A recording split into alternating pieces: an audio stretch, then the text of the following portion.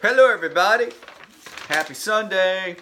Okay, so uh, slight chance of showers today. We'll put the rain chance about 50%. Let's see, high about uh, almost 80. So here we go. Um, on your Sunday, um, this is something for you to think about. Okay, as you uh, get ready for your work week tomorrow. You don't drown by falling in the water. You drown by staying there. What? Am I finding some good stuff or what? This is from Edwin Cole. You don't drown by falling in the water.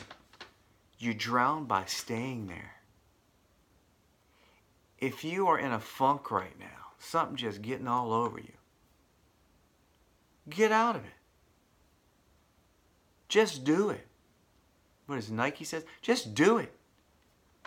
You don't drown by falling in the water. You drown by staying there.